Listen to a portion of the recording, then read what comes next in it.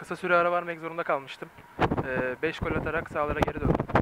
Ee, emin, adam, emin adımlarla yolumuza devam ediyoruz. Sıradaki rakiplerimizi bekliyoruz.